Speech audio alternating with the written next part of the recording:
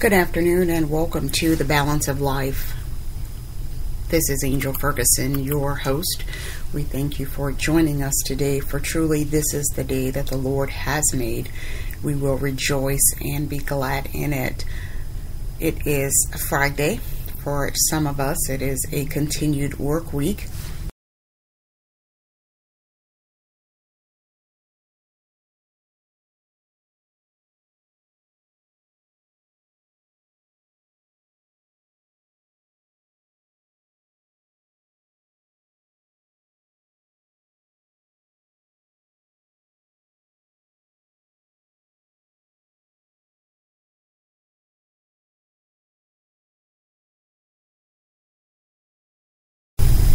Visiting our website at www.afergusonswrp.simplesite.com. Via the website, you have the opportunity of checking out our publishing division, Hope and Truth Magazine, our ministry, the bookstore, Motivation That Inspires Bookstore. You can also subscribe to the magazine. Each new subscription will receive a complimentary issue. 12 issues are $36.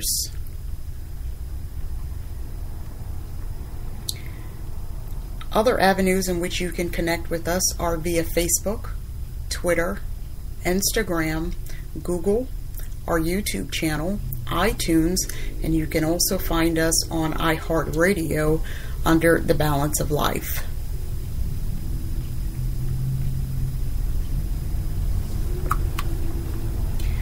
On yesterday, we started a session, a session entitled When God Confuses the Enemy. And we took a look over at Second Chronicles, looking at King Jehoshaphat, and an instance where God confused the enemy and, and how Jehoshaphat, because he had a heart after God, he lifted up his heart to God. And, and even when he found that he had erred by creating a an alliance without consulting God. He repented and he he just didn't repent for himself because he acted on behalf of uh, the regiment in which he was king. He he led those individuals to take part in something that God did not ordain. So he did not just ask for repentance for himself and go before God and ask for forgiveness he did it for those people as well. And I think that it is so important that when we call someone to error, that we ask for forgiveness, not just for ourselves, but for them also. And we want to be very careful that we are not hindrances unto God's people or to anyone. Uh, check your motive in what you are doing so that you do not hinder or deter anyone. And so, in this continued study, when God confuses the enemy, we're going to take a look at another example.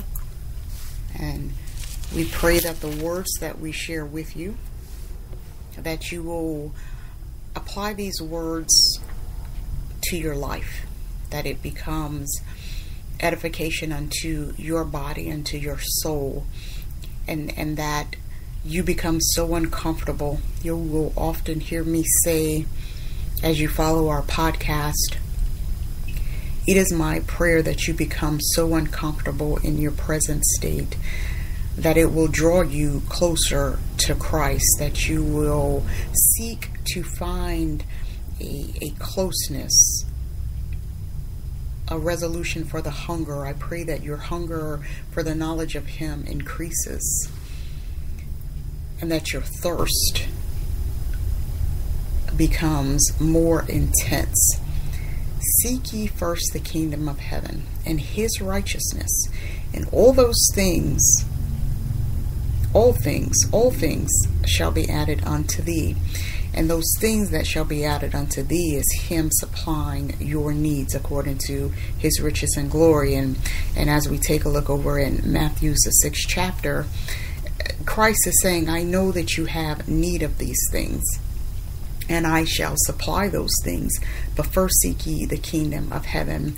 Uh, our day to day life is not supposed to be about food and clothing and, and where we should live. And it, it's about seeking the kingdom of heaven. And, and I, I have to say this that it grows unto spiritual maturity that you keep your focus there and that you give thanks for all things.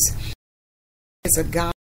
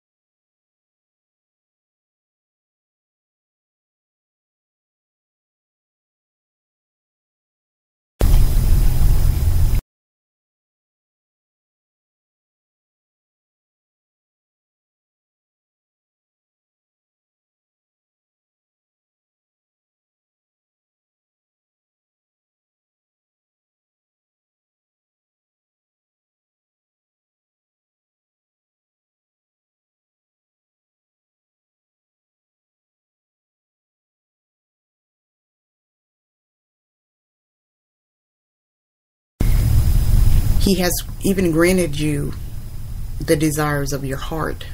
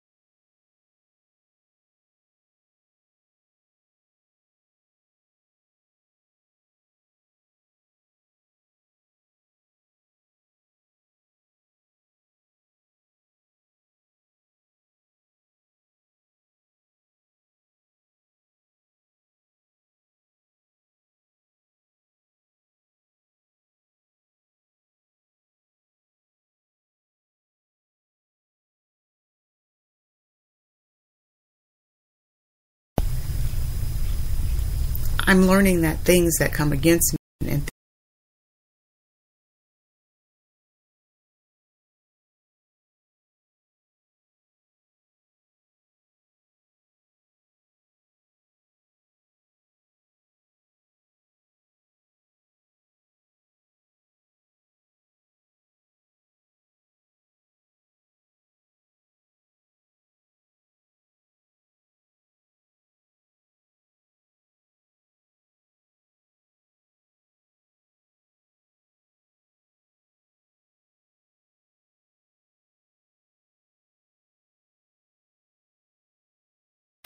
pray for everyone. Don't be selective in who you pray for.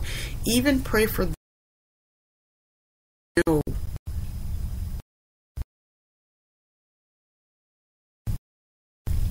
and has all manner of things about you. What we want to get across to you is to make sure that your motive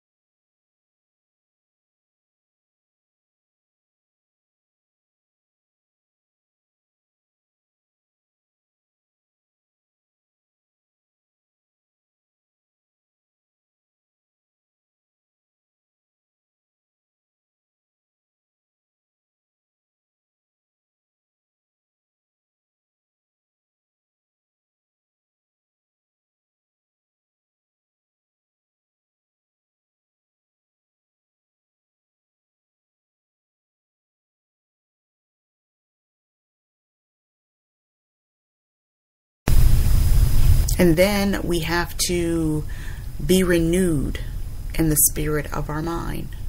Romans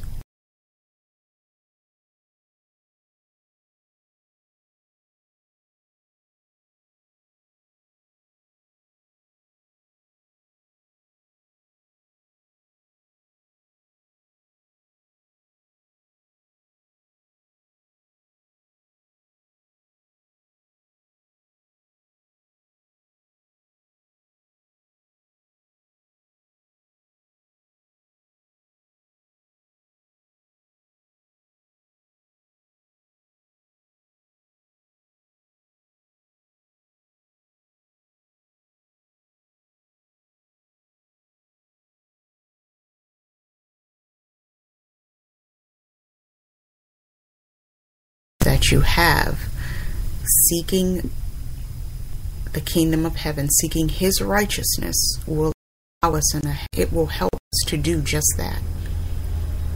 We cannot do it on our own. But we need the help of the Holy Spirit, the guidance.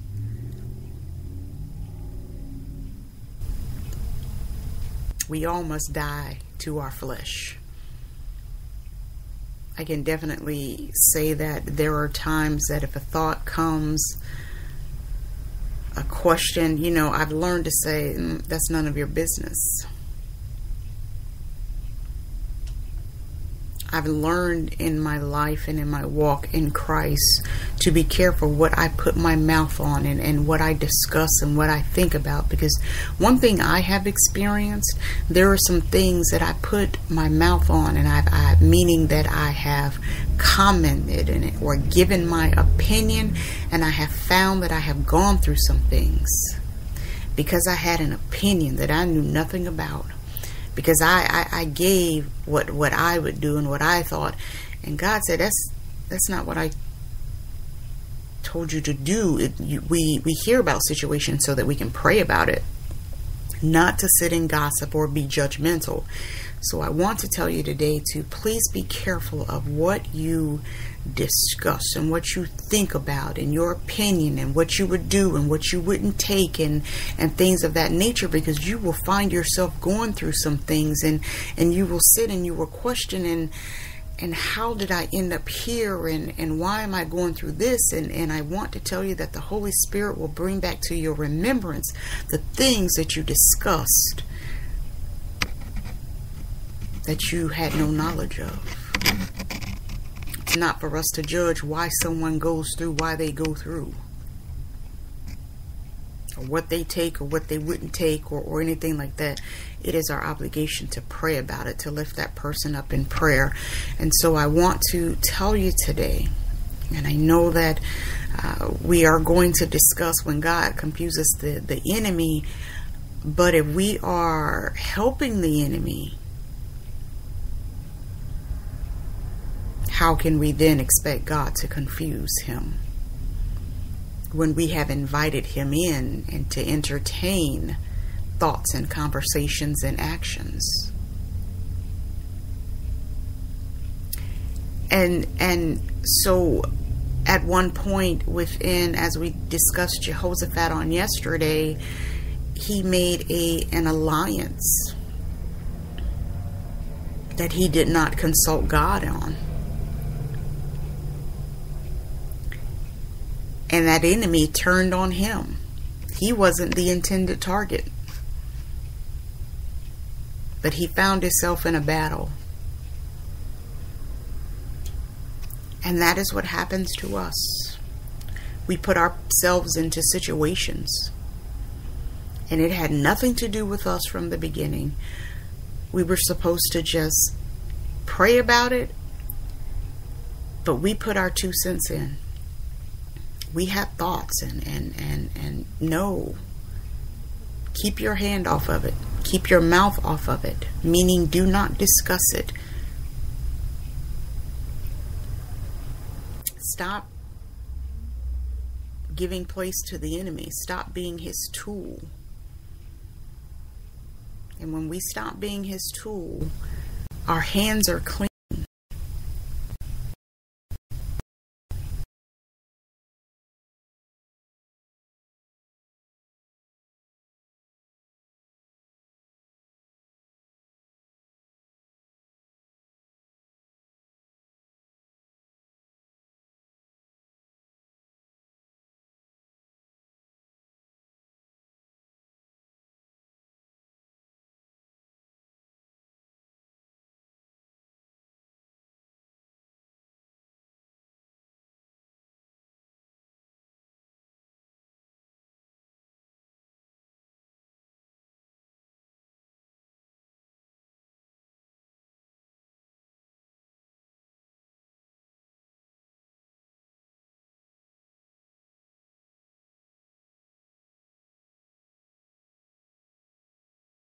is the business spotlights.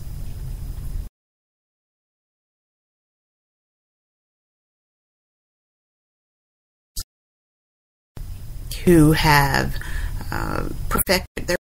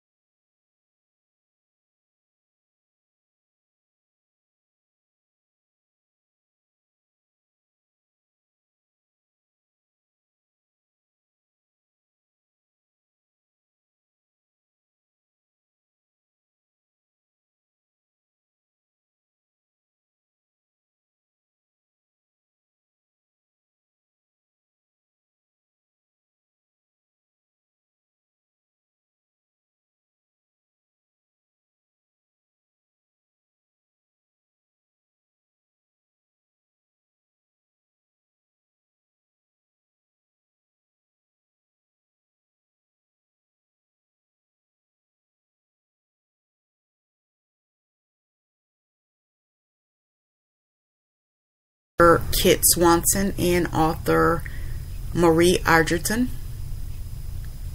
And we also include some words of inspiration and lessons from our mentoring program. We include a hot pick of the month from our bookstore and other material that we have read. So check us out. Our March issue will soon be available. You can also subscribe to the magazine via our website www.afergusonswrp.simplesite.com or you can email us at afergusonwrp at yahoo.com subject line new subscription for Hope and Truth magazine 12 issues or $36. And upon your new subscription, we will send you a complimentary issue.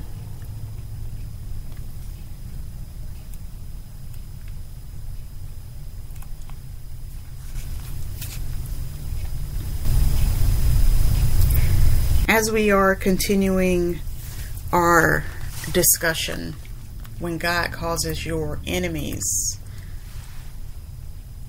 to be confused.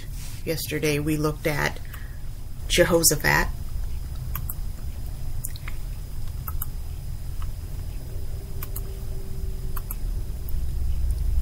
And today we're going to take a look at another great example, and we are going to go over to Second Kings, the sixth chapter beginning at the eighth verse.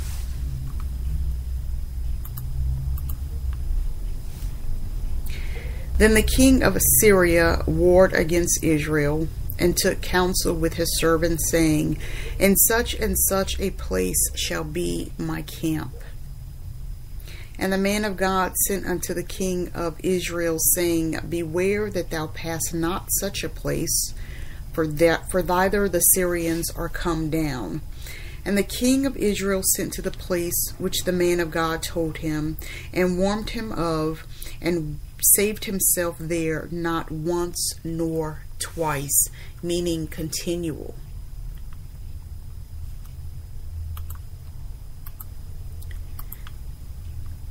And as I study this this area of passage, it, it tells me that there were several times. Each time the king of Syria was going to attack from one angle, God allowed his messenger, his prophet Elisha, to tell the king.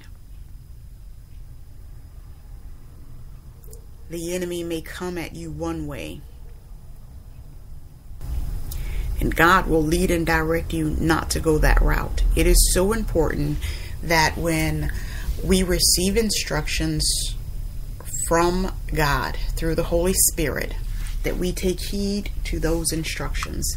We receive those instructions for a reason, and they come to us in a manner. And God wants to know, first of all, that we can handle order. And He's giving us those directions and those avenues to take because He sees what is ahead.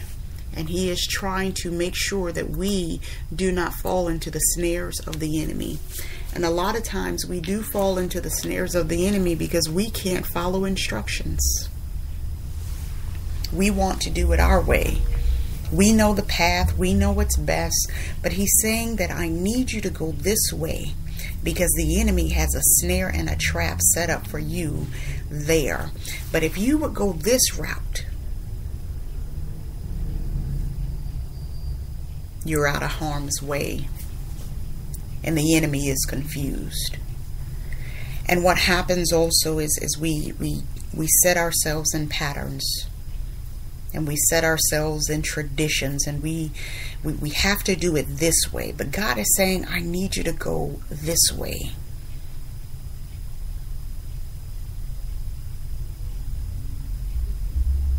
But unless we are seeking him unless we are in prayer prayer is a two-way thing it is communication it is praying and it is listening and if we are not in tune with the Holy Spirit, if we are not listening, we're going to miss those very important instructions and details. Another thing that is so important is is is the order of those instructions.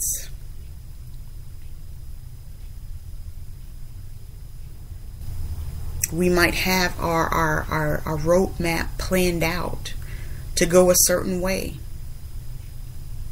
but he's saying, I, I need you to make a detour. I need you to go around versus going straight. There is a reason, but because we can become so set in ourselves, we, we will override that and, and no, we will we will tell ourselves or we will listen to the opinions of others and we will say no, but that's the better route. But God is saying, I need you to make a detour.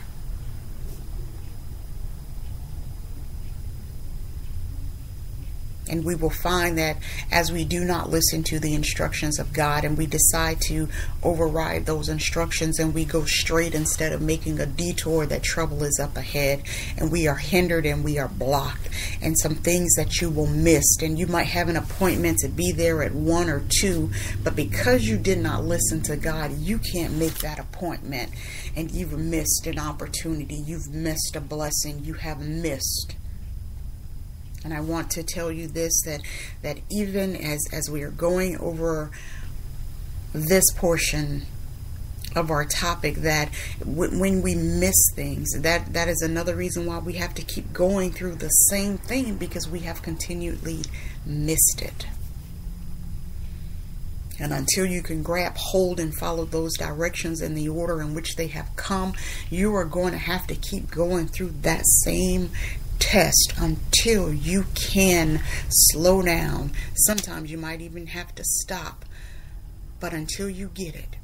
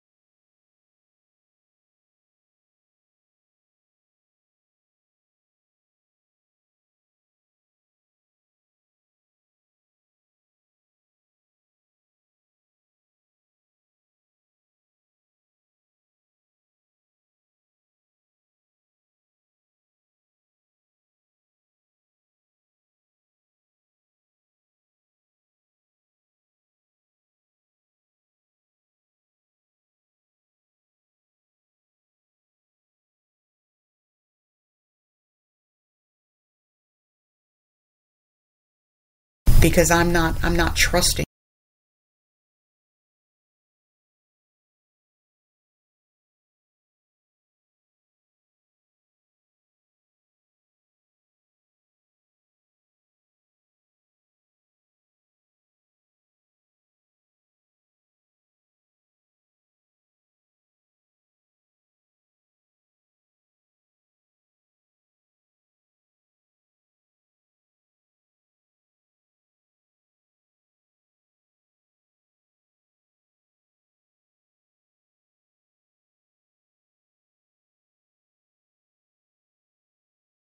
follow those instructions. The enemy is there waiting.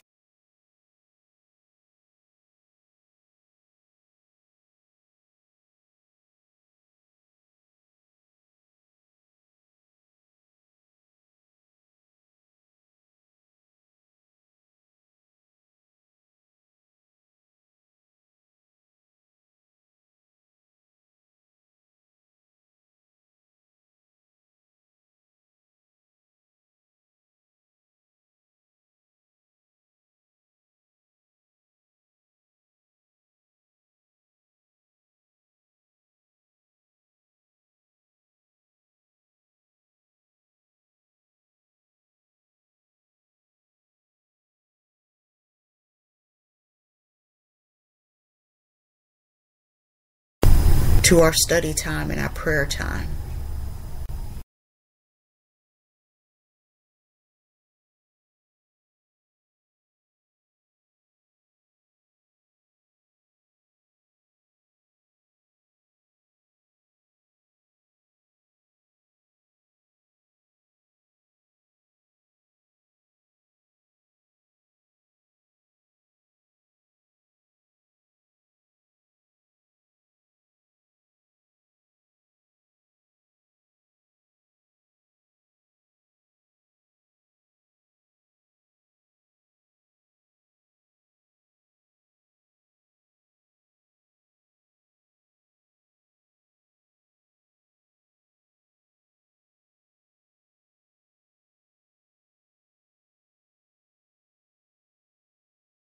Us up when we come together into the house of the Lord.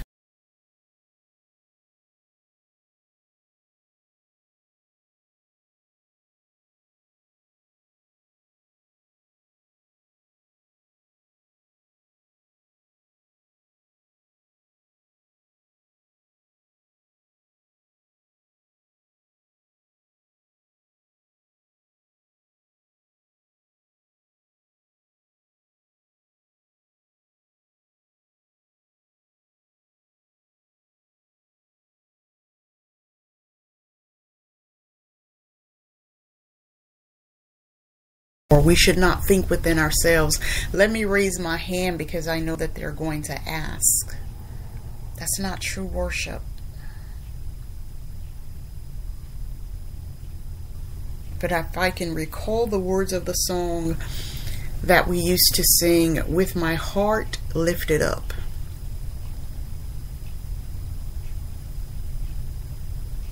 My heart, He is after our heart.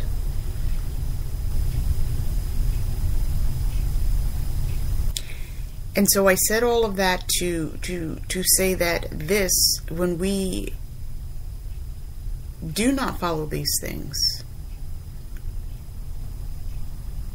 we give place to the enemy. And once again how can he be confused if we're giving him tools to use against us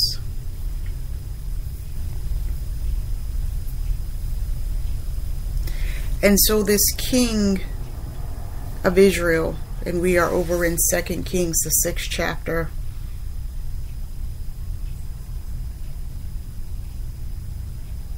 He followed the instructions of the man of God. It says, saved himself not once nor twice, which means several times, because the enemy is not going to give up. He is not going to let up so why are you? Why are you getting relaxed in your prayer, in your reading of the Word of God, in your seeking after the knowledge of Christ? in your being a witness, why are you slacking up? Because He is waiting for that moment when you slack up. And what happens when we slack up? Doubt begins to set in. And being complacent and stagnant has an opportunity to infiltrate your thoughts, your actions.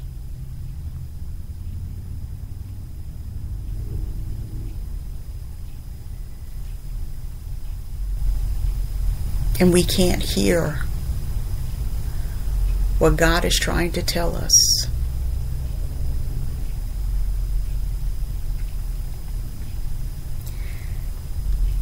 And over in the 11th verse, it says, Therefore the heart of the king of Syria was sore troubled for this thing, and he called his servants and said unto them, Will ye not show me which of us is for the king of Israel? See, he was confused.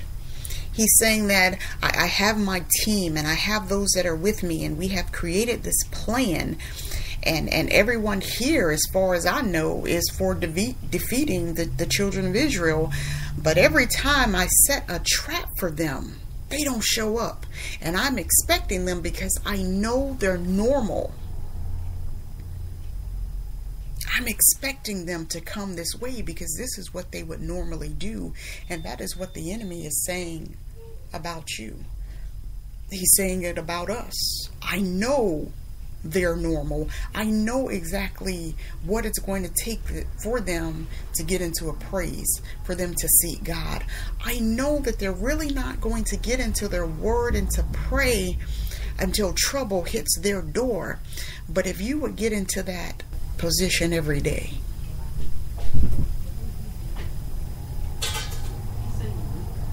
if you would seek Him daily, and not only when you have trouble, you are confusing the enemy. And so I say to you that as we are looking at this section, Verse 12 says, And one of his servants said, None, my lord, O king.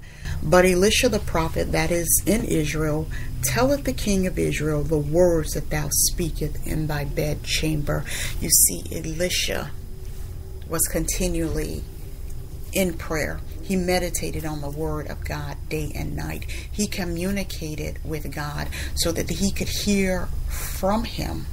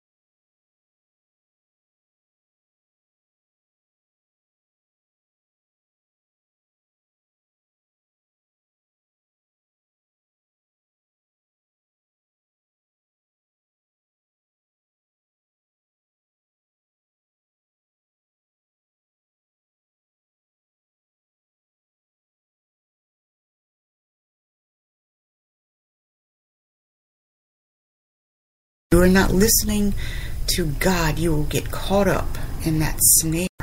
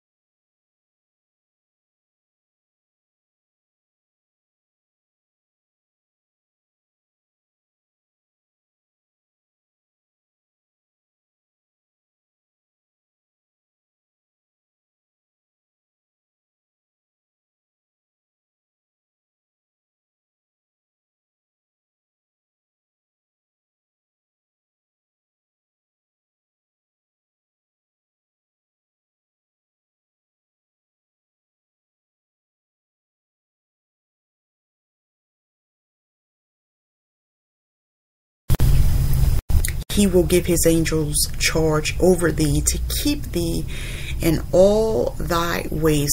The skirt of protection, God's skirt of protection, is all around us as we are obedient.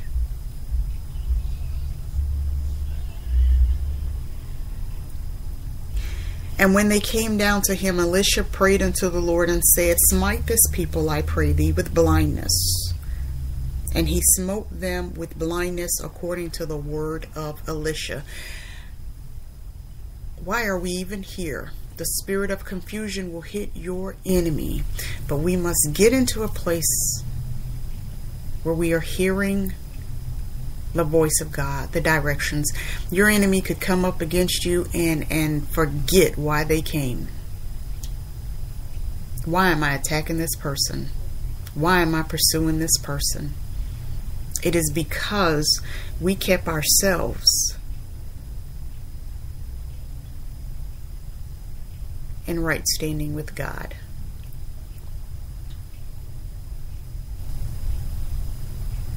And Elisha said unto them, This is not the way, neither is this the city. Follow me, and I will bring you to the man whom ye seek. But he led them to Samaria. And it came to pass when they were come into Samaria that Elisha said, Lord, open the eyes of these men that they may see. And the Lord opened their eyes, and they saw, and behold, they were in the midst of Samaria. And the king of Israel said unto Elisha, when he saw them, My father, shall I smite them? Shall I smite them? And he answered, Thou shalt not smite them. Wouldest thou smite those whom thou hast taken captive? With thy sword and with thy bow. Set bread and water before them, that they may eat and drink and go to their master. And he prepared great provision for them. And when they had eaten and drunk, he sent them away, and they went to their master. So the bands of Syria came no more into the land of Israel. It is not your job, it is not our job for vengeance or revenge.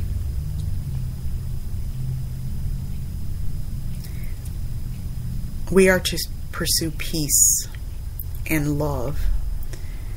And I pray right now that the spirit of spite be removed from you, from all of us. That we have a spirit of forgiveness.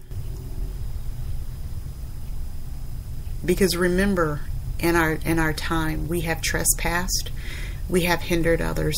And if you do not have a spirit of forgiveness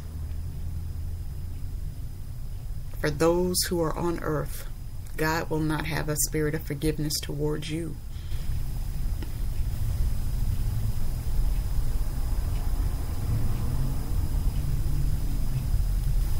And I know our flesh. I can say, I know my flesh well, God, they did this and they did that.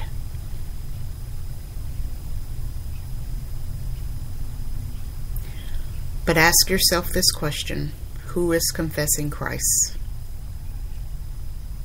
Who is confessing the knowledge of Christ? Who is confessing that He is Lord and Savior? And as we are coming to a close, here's something for you to consider. Even with reading this passage and, and, and it's still not clicking for you, imagine Jesus. He was beaten. They pushed thorns into his head. He had to carry his own cross. He was nailed to that cross. But his reaction was, Father, forgive them, for they know not what they do. He stood in the gap for their repentance. He became intercessor at that moment.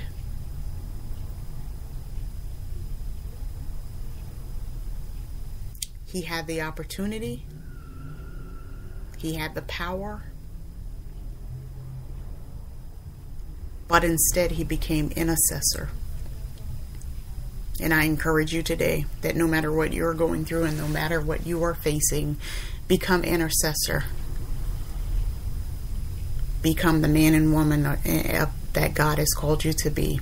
Intercede not just for your favorites or, or, those who you love or who you like, but become intercessor for those who have even coming up against you because it is not you personally, but it is the Spirit of God that is in you. It is a hindrance and a deterrent to get you off of the path that God would have you on. But you must be into His presence through prayer, through studying the Word of God, and through listening.